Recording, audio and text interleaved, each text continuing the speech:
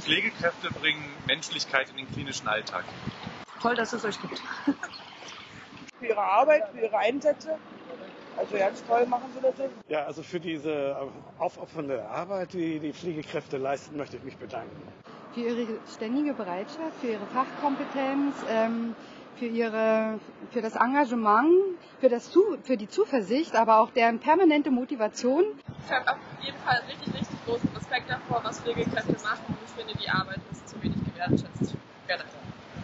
Deswegen würde ich mich schon bedanken bei den ganzen Pflegekräften überall auf der Welt.